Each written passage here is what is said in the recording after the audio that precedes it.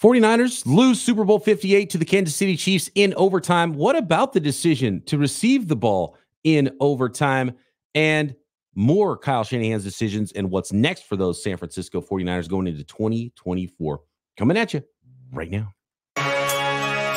You are Locked On 49ers, your daily San Francisco 49ers podcast, part of the Locked On Podcast Network. Your team every day.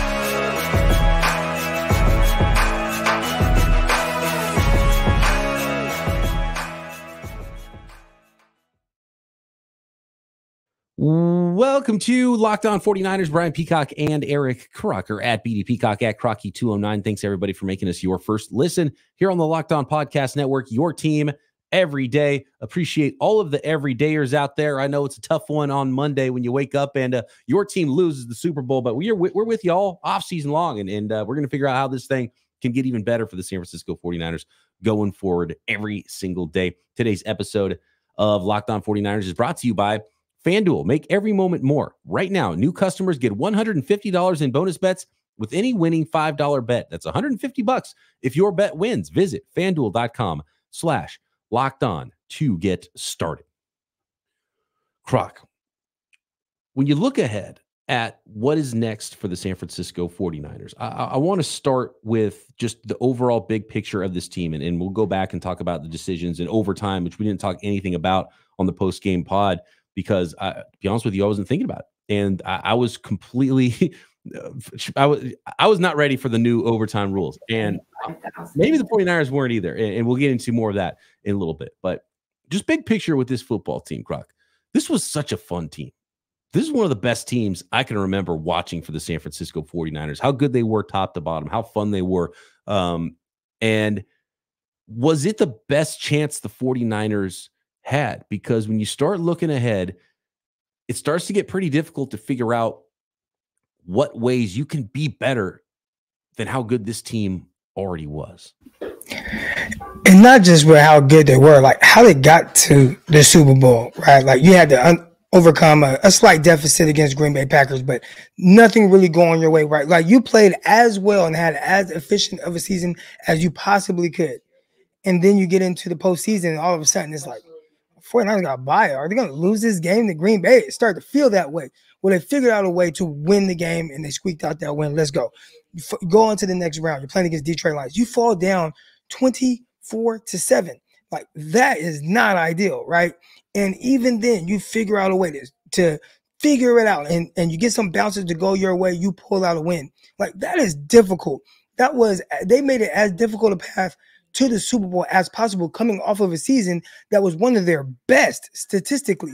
So then you get into the Super Bowl and you have a 10 point lead, and you know, like, man, not that you're fortunate to be in this position, but man, we had to work really hard to get here and what it took.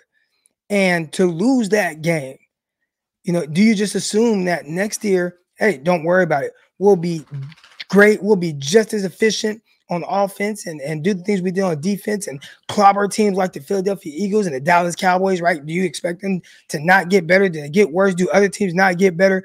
Do you have the same kind of success to where when you go into the postseason, you're the heavy favorites again? And then still get balls that bounce your way to where you're not the one getting bounced out. And I think we're so used right now to the 49ers uh, going to conference championships. It's, it's almost feels routine now that you can overlook how difficult it's been for other teams. Man, I talked to my brother, he's a Cowboy fan, and he's like, you know, I talk a lot of trash to you guys about the 49ers and stuff, but he's like, dude, we, we haven't been to a conference title since 1996. So, you know, it, eh, you look at how the 49ers have gotten there and just we continue to get there and and be very uh competitive to that standpoint. And when you miss an opportunity like that, it, it just stings. You don't know when your next one is going to come. It feels like next year, but if you ask Cowboy fans, it's been like a 30 year drought for them. And, and I go back to this game and I look at, man, if I, if, if, if I traveled in time, Croc, and came back before the game and said, Brock Purdy, he's going to complete 60% of his passes. He's going to throw a touchdown. He's not going to turn the ball over at all. Uh, 255 yard passes, two, 255 yards passing. Christian McCaffrey is going to touch the ball 30 times and have a touchdown. The defensive line is going to play the best game they've played all season long, maybe. And and I told you all these things were going to happen. You'd be like, "Oh, let me please bet my mortgage on the 49ers to win the Super Bowl." Right? This is exactly what you needed to happen. They started fast. Just like we said, that was the key number 1 for the 49ers to start fast. And with how good their team was, top to bottom, all the playmakers they have, both sides of the ball, and for them all to show up and play so well early and to be able to dominate the trenches like they did against the Chiefs and still not come away with a win. It's really disheartening. And it's hard for me to envision how the Niners can get a lot better than they did. And even with Brock Purdy, is his first year starting. He's a young quarterback. And you would think, yeah, he'll probably get better. He has to get better in some regards. But you look at the efficiency numbers he put up this year, how much better can you realistically expect him to play results wise, even if he is continuing to grow as a quarterback and getting better and maybe making smarter decisions or, you know, whatever he can do as a quarterback to get better? Most quarterbacks aren't the best they're ever going to be in their first or second years in the league. And Brock has already started so fast. Like, what's what's the ceiling? How much better can you how efficient the 49ers offense was? So, um, I, I real quick, I have something like on that yeah. because I think with a lot of guys, when they come in, a lot of what they do is just off of in the elite like traits ability, right? Like if guys come in and they're doing things and it's like, wow, it's more traits. And then the mental side of it comes. So when you see guys either get better or maybe they don't and they plateau and all of it they are is someone who flashed because of the upside from a physical trait standpoint, but you see the mental side of things improve as they go on and it catches up with the physical side of things that they can do. But with Brock, it's not as much physical but he has been astronomically better mentally than most guys coming in. Mm-hmm. And there is that question of what sounds that was the same conversation with Mac Jones, right? Like, well, how, how much better can Mac Jones get? He's one of the most efficient quarterbacks. He does what he does, he does it well. You know, how much better can he get for this New England Patriots team? And that's going to be the conversation. I'm not comparing Brock to, to Mac, but just in the sense of how they ideally want to win the play and the reps. How do you improve on that? Is it just more so from just I'm so much better mentally? I'm so much more ready uh, for whatever teams have to throw at me. Uh, maybe I'm not really involved in the line adjustments right now. So when you you know you have a free running with Chris Jones running at you and you're forced to throw off your back foot and throw, maybe he's more prepared for that, and it just makes him even that much more efficient. But it is hard to fathom how much more efficient he can get since he had one of the most efficient seasons that we've ever seen. I mean, he's setting 49ers records, passing records, right? And like the 49ers, as far as uh statistic passing yards and, and counting stats, even though they've had Hall of Fame quarterbacks, those numbers aren't that far out there. So, you know, Brock could could certainly continue to to throw for more yards and, and things like that. Maybe just higher volume is all it would take. But I wonder if potentially you're looking down the road and look, Kittle's on the wrong side of 30 now. Trent Williams is towards the end of his career. Hopefully he's he stays and, and plays for a lot longer for the 49ers. Arik Armstead's been around for a long time for the 49ers. Um, it's and Christian McCaffrey, he he's not old by any means, but man, he's just played 40 he's played 40 games the last two years, Croc. We expect him to play another 20 games next year to be all good. Yep, Christian McCaffrey, running back. They running backs get hurt more than any position in the NFL. And well, Christian McCaffrey, 20 more games. Yep, no problem. He's going to do that. You know, it's just hard to envision all of those things happening. And this was the perfect uh, storm of, of of great things and, and high level play for the 49ers. And the fact they couldn't get it done this year is a little disheartening, I think, because it's hard to envision how much better they could get. And then salary cap getting a little tighter, a little tighter. Eventually, you got to pay Brock, you got to pay Aiyuk. And, and how does that look? And what do you have to do differently? And then it makes me think of the question okay, well, do you try to elongate this period and extend how long you can be really good and competitive for a long time with your draft picks? And now you finally have another first round pick? Or do you go all in for the next run next year? and say, I don't care what happens after 2024. We're going all in for this year and we do everything we can. And we might even hurt ourselves in the process with draft picks and cap space in the future to make this team the best we possibly could coming up in 2024. I think that's a huge question the 49ers are going to have to figure out this uh, this offseason. Also, we didn't talk about health.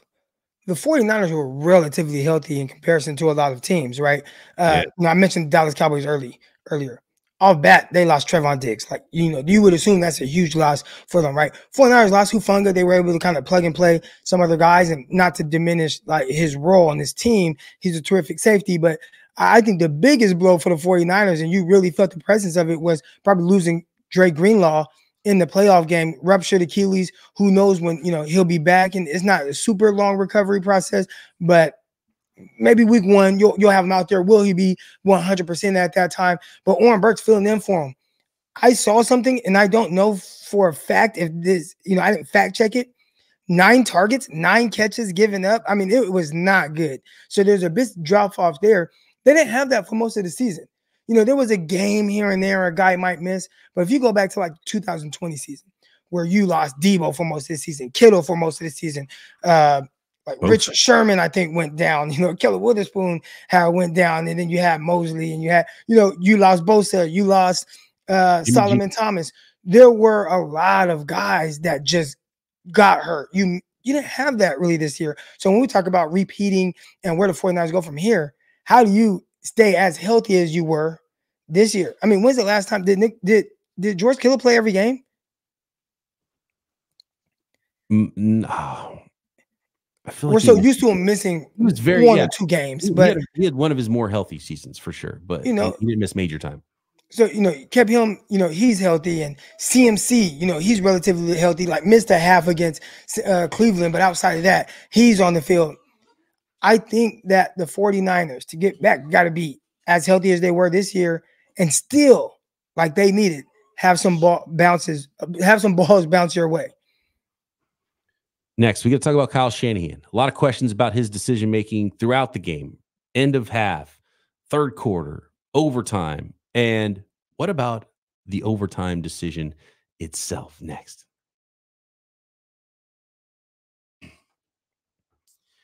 This episode of Locked On 49ers is brought to you by DoorDash. Man, uh, we're, we're supposed to talk about in this ad read, Croc, about how uh, a certain team delivered on Sunday. And I don't know if I want to go down that road, but I do want to tell the folks out there how DoorDash always does deliver for you. And they do for me all of your restaurant favorites, the all in app for your everyday needs, too, not just for dinner, although they got dinner covered. Restaurants, groceries, uh, you, you need to get flowers or gifts. Use this Wednesday. If you forgot some flowers or gifts, DoorDash can bring them right to your door right when you need it just in time. So next time you're running low on dinner ideas, pet supplies, or maybe just running low on time, you can get so much more than you realize delivered with DoorDash. So get dinner for tonight, get groceries for the week, or maybe a consolation prize for some of your sad 49ers friends in San Francisco and around the world because we are global here on Locked On 49ers. You can find it all on DoorDash. DoorDash, your to your door and more, head to DoorDash app and get everything you need delivered.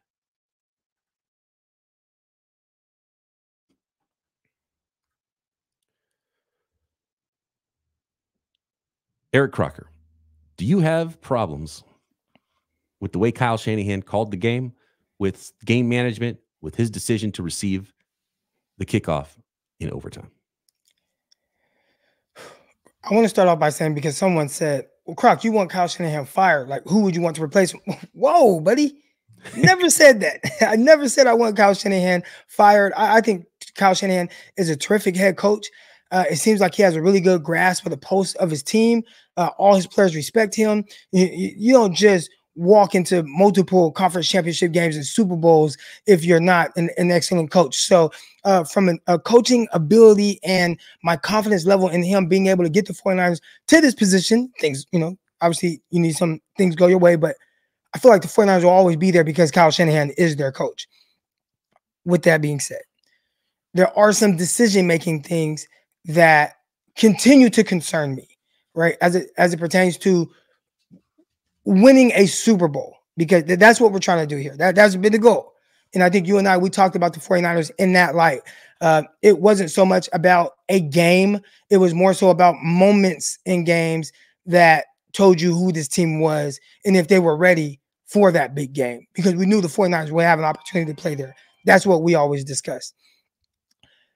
His decision, let, let's let's start, let's go back a little bit.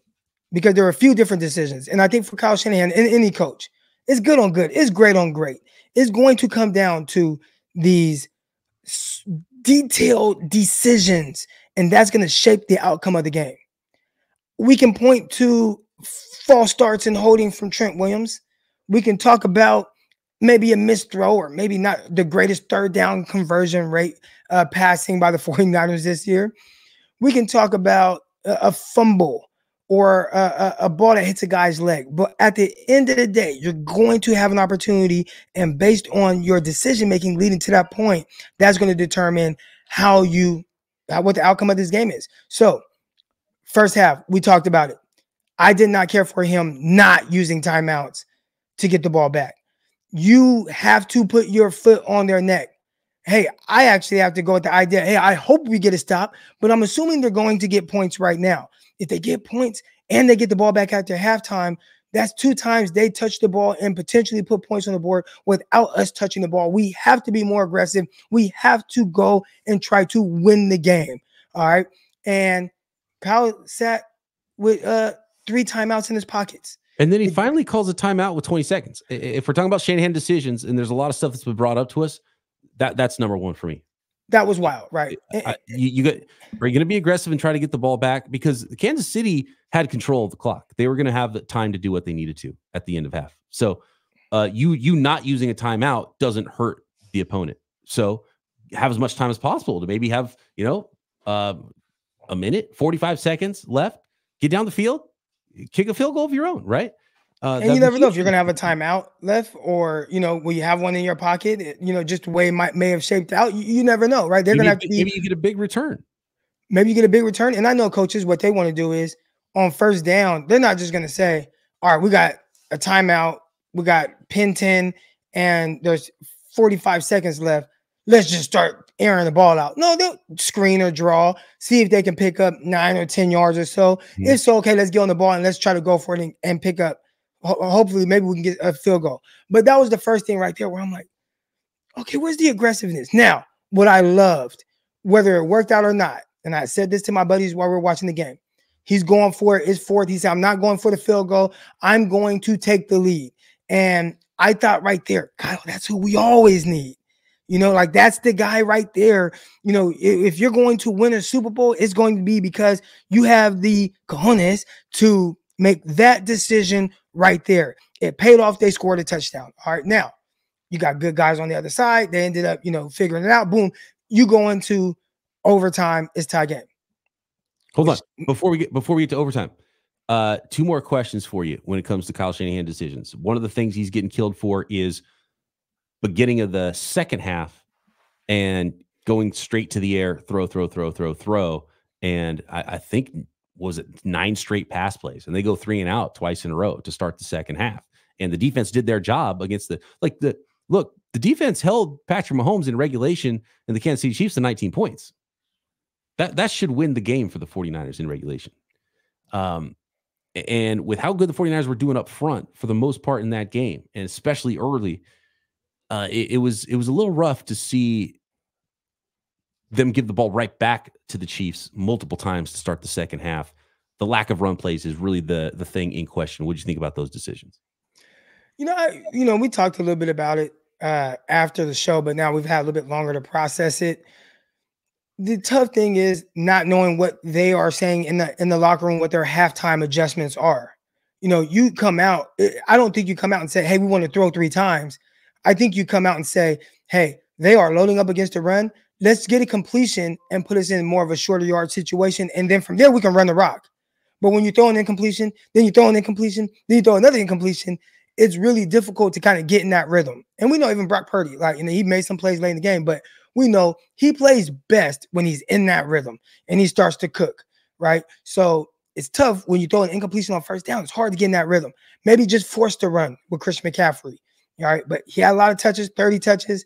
Uh, could he have more? sure, let's go. Give could him 40 touches yeah. if that's what it takes. When you look at the usage, McCaffrey got the ball a lot. If anything, it's like give him a rest. And then we saw Elijah Mitchell finally get one carry. It was like, oh, little juice got around the corner. It was a nice gain. Mix in a little more of that so you can give someone else 10 carries plus still 30 carries or 30 touches to Christian McCaffrey. So so that's the way I kind of look at that. And look, this guy's been a workhorse. He carried the ball so much this year. I know Christian McCaffrey runs to the sideline and he puts up one finger. He's like, I'm going to come out for one play. Christian McCaffrey's not the head coach of the team. He doesn't have a headset on. You say, hey, Christian, you're coming out for three plays. Sorry, dude. Take a rest, right? And we're gonna and we're gonna continue. Do we want you to be fresh to the fourth quarter of this football game? Um, and so I think the conventional thing is to say just run the ball, but right. in the game of you know chess on the football field, it, you're trying to counter what you think they're going to do, and the Chiefs got the 49ers do what they wanted to do, and the 49ers did not execute that to make them have to play honest. So we we had that conversation uh, yeah. yesterday. We, real quick, we talked about that before the game even started. About right, right, yeah. Spagnuolo was going to try to do. Guess what? He did it, and guess what? It worked again. It worked again. Overtime.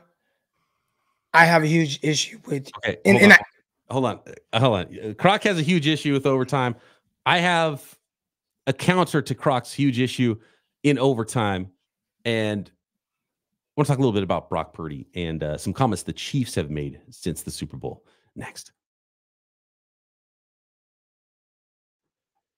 This episode of Locked On 49ers is brought to you by FanDuel, America's number one sports book. Get buckets with your first bet on FanDuel because right now, new customers get $150 in bonus bets with any winning $5 bet. That's 150 bucks to play with at FanDuel if that first bet of yours wins. Bet on all of your favorite NBA players and teams with quick bets, live same game parlays, exclusive props, tons more. Love the parlays at FanDuel. Major League Baseball is going to be getting going as well. And, you know, football season's over. Guess what? There's still 2024 season futures already there for you to bet on at FanDuel and NFL draft props. Draft props are my favorite way to play at FanDuel, hands down. So uh, have some fun there and uh, get those draft props in early if you think you got an edge on, you know, where some players might be going in the NFL draft. And all you got to do to get involved with all of it is visit fanduel.com slash locked on and shoot your shot. Fanduel, official sportsbook partner of the NBA.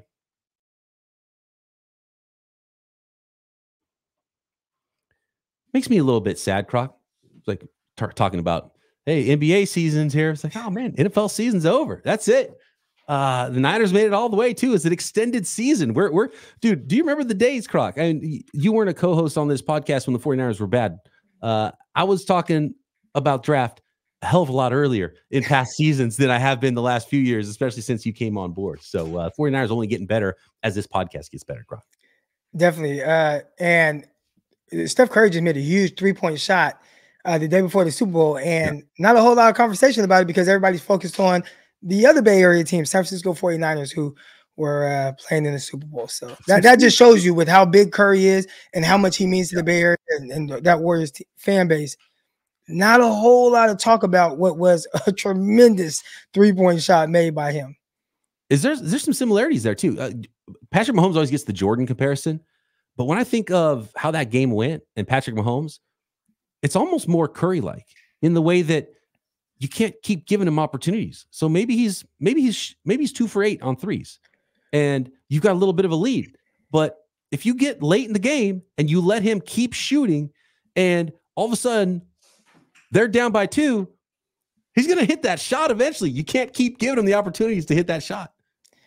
And and the 49ers not only gave him the opportunities, they gave him the last opportunity. Yep. And we talked about that was something that just you can't let that happen. So uh, a lot of the conversation yesterday between you and I, we're talking, and people think that I'm kind of ripping Purdy. Uh, definitely not ripping Purdy at all. I think Purdy played well. They're, they're like, oh, he played great. I don't think he played great. I think he played well though.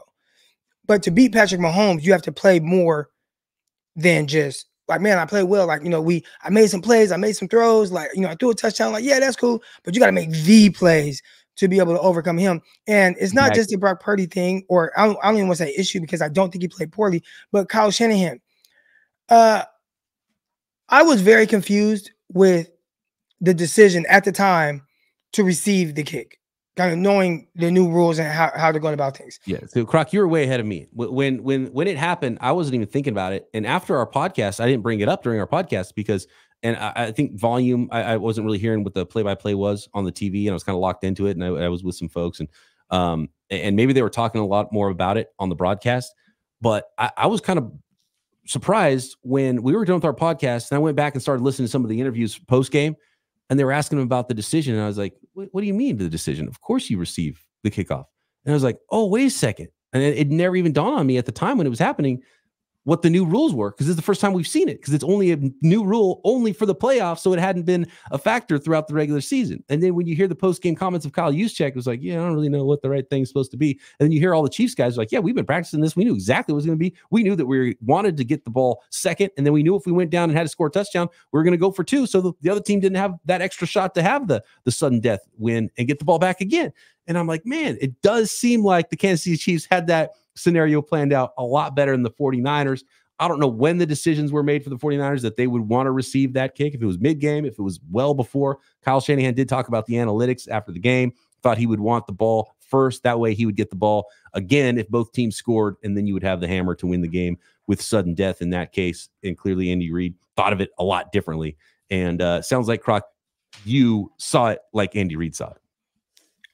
There is no way. We talked about this with the locked on crew. You cannot give Mahomes, and we gave him two cracks at it. You can't give him the opportunity to tie the game or go ahead. You you just can't. And the 49ers gave him two opportunities, but the second time was something that you chose to do. Like you chose to put the ball in the hands of him, not knowing exactly how the outcome of your drive is going to be.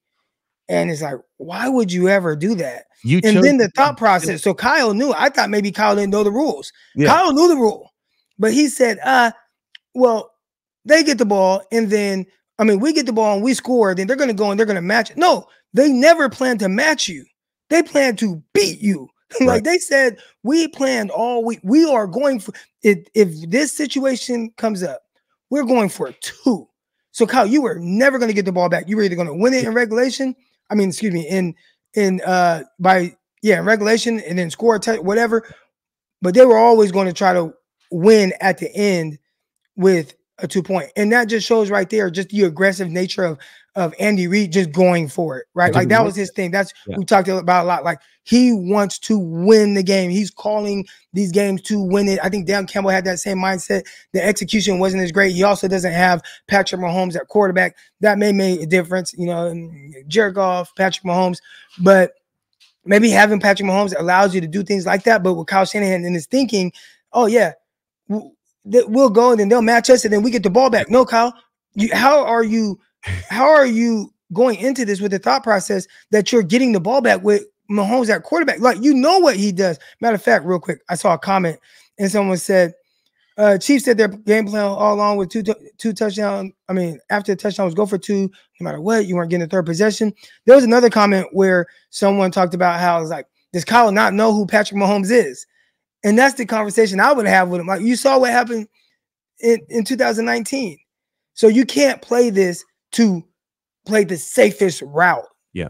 Because that, they're not. You, you got to go and so that might the, just the the the picking uh, to receive in that situation because you think there's going to be some kind of third no. You give them the ball first, figure out what they're going to do. And one more thing, a lot of people are talking about, well, the defense, long drive, tired. You guys got to let them hang and you got to suck it up for this drive, no matter how it goes down. Like you just have to and then okay, offense, let's go. And we're and now we're going to be the great. We're going to dictate how we go win this game. It's the the psychology of it is what fascinates me, and the fact that Kyle Shanahan, in the other, you know, in the other seat, if he's the one that has the ball second, and the Chiefs went and scored a touchdown, Kyle for sure is not going for two. You know what I mean? Like that didn't cross his mind that oh yeah they would they could go for two and I would we would never get the ball back. Let's just you know because he doesn't he's not wired that way. Andy Reid's like, let's go, let's gamble, and I, am kind of bummed because how how awesome would that would have been? Uh, it was uh, would have hurt more for the 49ers fans. They lost Super Bowl anyway, but to have it come down to a two point conversion, end of overtime, to win it, one play, that would have been pretty cool. If the Niners scored a touchdown, the Chiefs went down, scored a touchdown, then had to go for two. Andy Reid's really good at dial, dialing up those red zone plays too, and those two point conversions. And in fact, the one they scored the touchdown on that might have been their two point conversion play, but they didn't ne- they didn't need it for that because they only needed a touchdown and so they used it there. They might have scored a different way if it did did come down to that. We might have seen that play as their two boy, two point conversion play, or maybe he has something else dreamed up. Um, but and the other part of it is the more I think about it, the more I realize for sure you want to have the ball second because again the psychology of it. If you're the team that has the ball first, even if you have Patrick Mahomes on your side, you're still more likely to say, okay, well, let's get some points and let's kick a field goal. Whereas if you know what the other team already did, it makes your job a lot easier to know exactly what you have to do to go win the game. So I, I think right now, uh, I think I would absolutely side on kicking in the overtime scenario in the playoffs. But one more quick note here. This is from Seth Walder, who does uh, analytics at ESPN. And uh, he had this tweet about it this morning. He said, from an NFL analytics staffer this morning on first versus second possession in playoff overtime. Quote, anyone that is very confident there is a clear option is probably wrong. So that's the analytics side saying that's pretty much 50 50, which to me says, then that's an awesome rule because if it really doesn't matter that much, then then maybe it doesn't matter. And maybe if you have Patrick Mahomes, maybe you are more likely to to kick. Maybe if you uh have a different team and and and and you think that it could benefit you knowing who you are, who you're playing against in those situations, maybe it does make some sense in some cases to go the other way if it's that close to 50-50 and it also means that I think it's a great rule if the coin flip is not the thing that's making the decision on who wins the game and not having that big of a factor. So I do love this new rule for the NFL and I think they got it right. If it is that close analytically to, to pretty close to 50-50 on whether you would receive or kick. Yeah, I'm not no NFL coach or anything like that. I coach high school football. I coach seven on seven. Seven on seven in overtime. Uh, what happens is each team gets one play, and the team who gets the furthest, you you win. Oh, so, wow. so you always choose to let that team like no, we want to be on defense. If you win the coin toss, all right, we're on defense. They're on offense. You see how many yards they get. If they throw a pass and it's incomplete, okay, we need one yard. What's our best one yard play? If they throw a pass and they get eight yards, okay, how do we get nine yards? How do we get 10 yards? I think for Kyle Shanahan, he chose to say, you know what? We're just going to see how many yards we get, and then let's just try to stop them from getting however, however many yards they're going to get. And I just think that's uh, kind of a flawed way of uh, of doing it. it, especially against Andy Reid. I watched Andy Reid with Patrick Mahomes going out of the game in a postseason game against the Cleveland Browns at almost midfield and he chose to go for it on fourth and three with Chad Henne at quarterback. They were up three points, maybe, but definitely Cleveland had an opportunity. They stopped him right there. Oh, we're at midfield. We could get a chance to go score and win or go into OT, and there's no Mahomes out there. And even then, Andy Reid said, going for it on fourth down. So you got to know who you're coaching against. Yeah. I guess the big question is, hypothetically speaking, and we can't, I mean, we already know the outcome of this game, but hypothetically speaking, Kansas City got the ball first. That fourth and one around the 40 yard line or so, wherever that was, in their own territory, do they go for it? Uh, let's see. Wait, how long was the field goal there? If it's a long, no, they, no, they, they were in their own territory. They were they were in their territory. Oh, the other 40. Yeah. Oh, yeah. So no field goal option at all. No. But you definitely setting the 49ers up to where they need five yards and they're in field goal range. Right. So do they go for it in that scenario or do you think you they punt it? Because if they if they punt it, then you know. Yeah. Also with these things, I've watched enough of these time traveler movies and shows to know when you when you go back when they travel back in time, they'll tell you don't change anything because then it changes everything moving forward.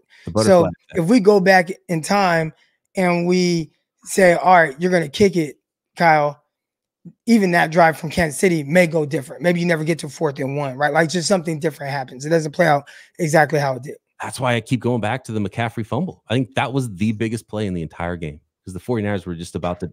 You, you remember back in the day, this is what I think about with this, and, and we got to go. But um, Mike Tyson, you know, prime Mike Tyson, first round of the of the fight, he hits you with a shot, you know, that left hook or an uppercut. It buckles your knees. And that's a different fight from that moment on. And the 49ers were about to throw that blow against the Chiefs early in the game. And the way it looked early, and then even after the the fumble. And then the way the 49ers got the ball right back, three and out. Like they did nothing. The 49ers dominant up front. And they got the ball back in and started rolling down the down the field one more time, right? You go hit them with two big haymakers on those first two drives, and your defense got the ball right back, and they could not move the ball on you at all. I mean, that's just a completely different football game the rest of the way. And, and that's what you need to do. Like to, to beat them, it need to be more so like that than Mahomes has an opportunity to go down and score and win the game. Yeah, exactly. Yep. Um, and we said that, like that, we said that all week. You cannot. It can't come down to this. You're probably going to lose. Can't miss those opportunities. When he throws an arm punt up there, he almost throw a second uh, interception in that game, and, and Tashaun Gipson, you know, lost it in the air. That's an interception. Like you, you can't let those kind of things. Um, you can't give up those kind of plays, or, or they did force a fumble like the next player or two, though. Oh, oh, on, on Pacheco yeah. ended up fumbling on the same drive. Yeah, right. Oh yeah, right after that. Um, but I mean, just mentally, you're you're more busted probably if Mahomes is struggling throwing interceptions than even if Pacheco fumbles. Um, and, and it could change the way you're you're calling the game. But anyway, um, tease this one for tomorrow. Uh, the comments from the Kansas City Chiefs about Brock Purdy, about how they wanted to play the San Francisco 49ers. Of course, it's a Winky Wednesday tomorrow. The voice of the fan, Nick Winkler, he's going to give us some perspective on what the game was like for uh, most of the fans out there. Although I kind of already know because we've heard from a lot of them so far in uh, in less than 24 hours as we sit right now from when that game ended. Appreciate all the everydayers out there. Uh, we're going to get deeper into the offseason, what the 49ers need to do, free agency draft, all of that, because we are with you every single day here on the Locked On Podcast Network. Croc and I back tomorrow. Locked On 49ers.